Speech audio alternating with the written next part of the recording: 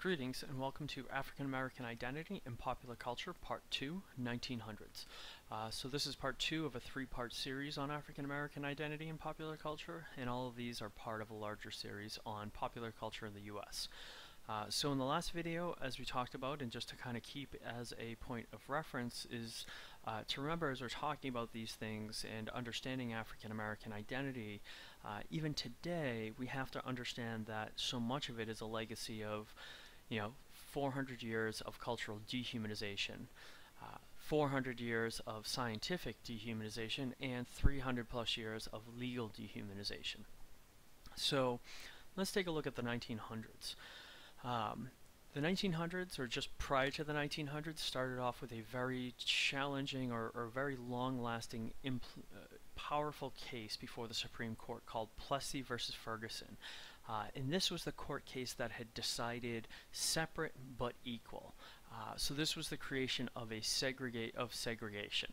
Uh, it said that yes, there could be separate, but they could be equal. Um, that idea eventually becomes, of course, you know, challenged and overturned, but it's not for over 50, uh, for actually over 60 years. So what we see also happen throughout the 18, 1890s and 1910s is a rise in the enforcement of the one drop rule. The basis of this rule is that if one of your great, great, great grandparents was of African descent, you too were considered African American. Now think about this. Your great of your great great great grandparents, there are 32 people.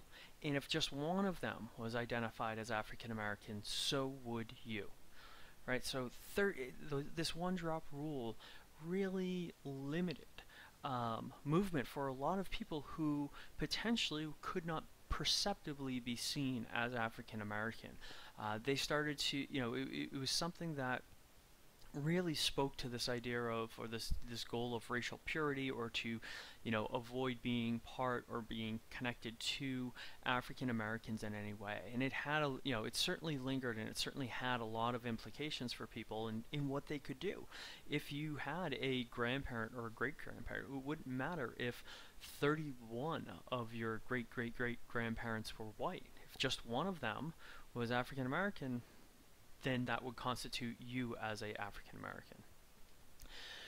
So as we get into the popular culture history, um, in 1905 a book comes out called The Klansman by Thomas Dixon, and this is a book that celebrates the rise of the Ku Klux Klan in the South. And it's a, a popular novel, and people enjoy it. They enjoy this, this romanticized idea of the South. And we have to remember, this is 50 years really after the end of the Civil War, and it's this idea of how you know, the the Caucasians came back and they saved themselves from the the African Americans who were ruining culture, who were ruining the South in the 1860s and 1870s after the end of the Civil War. This book ultimately gets turned into a film called Birth of a Nation by uh, D.W. Griffith.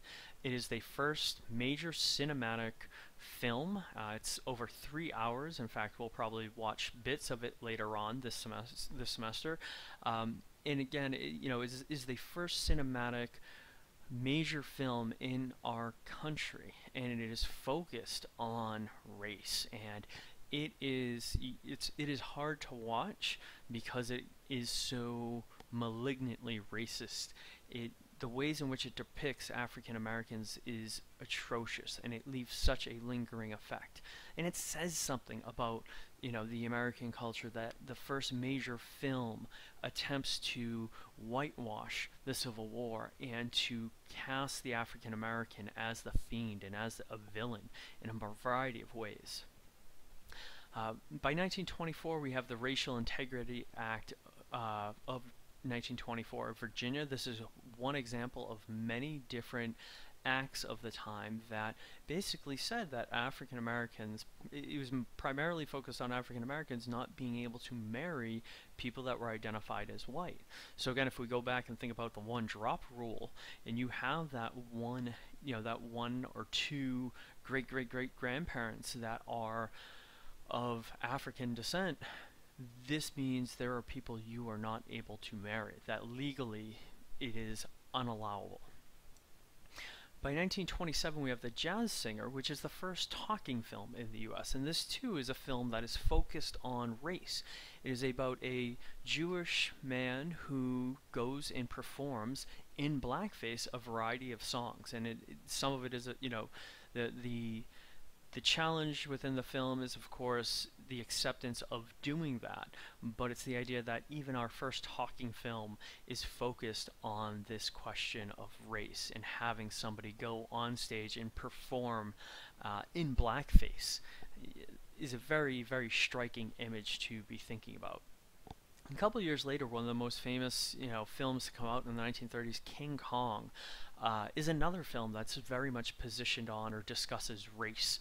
Um, it is the it is this giant, you know, gorilla type character, you know, 30 feet tall, 40 feet tall, uh, who's taken from an island in chains, brought to the United States, and put on display uh, in chains to an audience. And there's a lot of interesting elements of race in this film, and it is very much a film that is about discussing race and, and depicting race in some very, again, negative and stereotypical ways.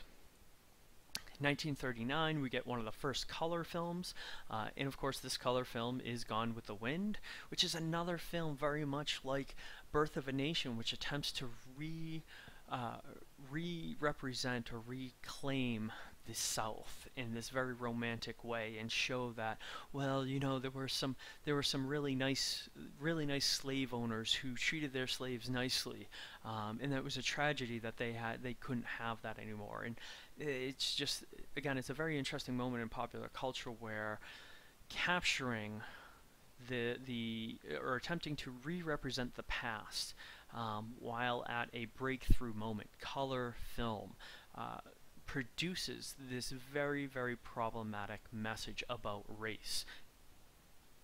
We also have during the 1920s to the 1950s the Amos and Andy show, and this is you know this was a show about are two supposedly African Americans who, of course, were imbecilic and you know they they did foolhardy things. And again this was typically portrayed by at least the radio show was typically portrayed by whites.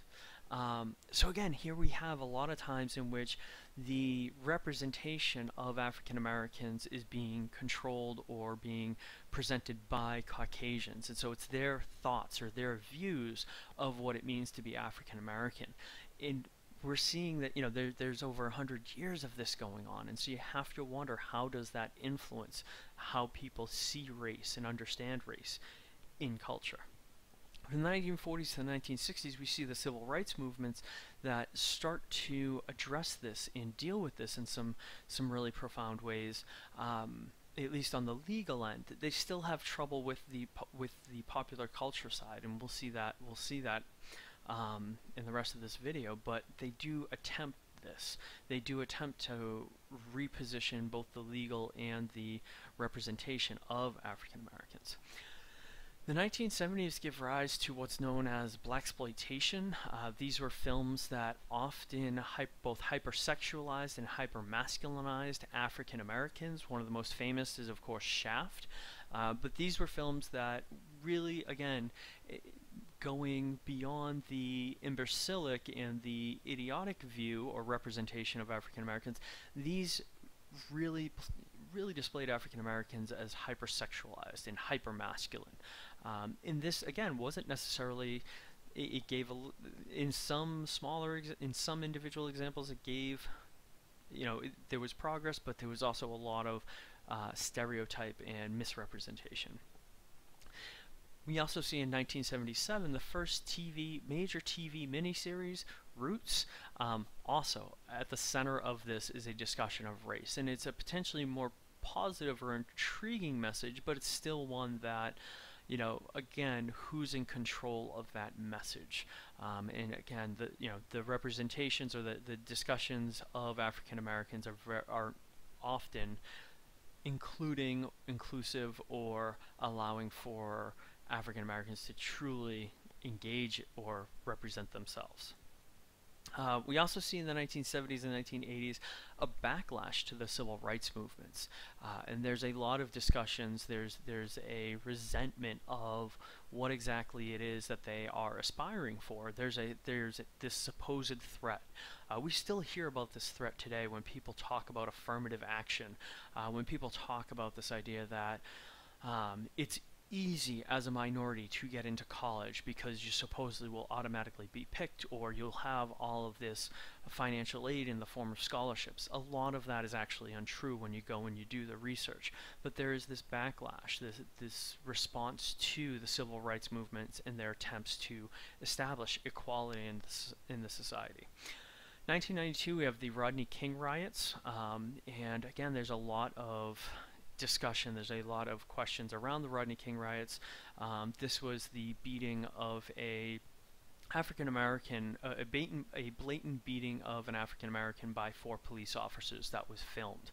Um, in fact, there's a lot of very interesting parallels to some of the cases that have occurred in the last few years, um, such as what happened in Ferguson and what happened in uh, in New York. And so, in this case, the you know Los Angeles, large parts of Los Angeles were rioting when the police officers were acquitted um, or were found innocent. And you know the depictions and the discussions around race within popular culture as a result of this, they're still jarring. Uh, you can go and you can look at, and the ways in which they are described, African Americans are described, are, are very is very disheartening to see this in 1992. 1994 uh, to 96 is the O.J. Simpson trial, a famous football player and an actor who is arrested um, in, in charge with killing his wife and his wife or his ex-wife and his ex-wife's uh, boyfriend, and of course. Um, he's put on trial, and this is the first major televised trial. And again, here it is, this major moment, this big new thing, televising trials, and at the center of it is an African American. Um, from 2008 to 2011, I think another interesting moment in popular culture history about talking about race is the birther movement in Donald Trump and this discussion around whether the first African American president is even a American citizen. Um, if you've been following along in this lecture right now, you can see there is this attempt, this continual attempt to undermine or to control or to misrepresent African American identity in popular culture. And the birther movement was just an extension of that. I'm not saying people that believed in the, you know, believed or, or raised questions about uh, where or when uh, the the president was was thinking of this, but it's clear that they're influenced by it. It's clear that, you know, this is part, they have been influenced by this trend of misrepresentation. Um, and then, of course, 2012. I mean, actually, the last few years, the Trayvon Martin, um, the the Mike Brown, the uh, and uh, Eric Garner, all of whom you know represent this very interesting clash of, of course, you know, legal history or what's going on within the law and law enforcement uh, in popular culture, and kind of how those narratives are being put out into popular culture how they're being presented on the different talk shows and the news shows and all and across social media. Um, and just to kind of contrast real quickly, you know, during this time we also start to see throughout the 1990s, as we were talking about Rodney King and O.J. Simpson, this the social welfare reform movements that are largely, again, not always directly, but often implicitly geared towards African Americans. That is, the backlash to civil rights br brings up or creates lots of um, accusations or misrepresentations of who exactly is taking advantage of what. Of what the social welfare reform has a lot of implications or implies a lot of um, a lot of minorities being on social welfare sometimes not entirely accurately or purposely misleading. Uh, and then we also have most recently the Shelby County versus Holder in the Voting Rights Act. And this is going to be one that's very fascinating again as we as we look at the legal history because this goes back to that equal uh, that equal opportunity to vote, the Voting Rights Act um, that we saw, or the, the ability for uh, equal voting to occur. And this was something that was brought up in the civil rights movement and now is in some ways being undermined as states start to require certain forms of, of ID in order to vote. And the question is, well, doesn't that then put some kind of um, restriction that somebody now has to go and get an ID, or th there's certain things that this raises questions of. So, you know, th this look between, you know, and I should say, you know, a lot of this this question was around the Voting Rights Act um, and the the Holder the Holder case were purposely uh, either were often discussed with relation to minorities. Um, that's why these cases were going through, or that's why these laws were were being passed was was focused on shifting the opportunities for certain minority groups to vote. All right. So that's a lot to throw at you, but I hope you start to get an understanding of, of how these two things interrelate, of, of the legal history and popular culture history, that they, they bounce off or they inform one another um, in a lot of ways. And that becomes very powerful, sometimes for good, sometimes for, for bad, uh, throughout our history. All right that is all for now. Thank you very much, and see you in the next video.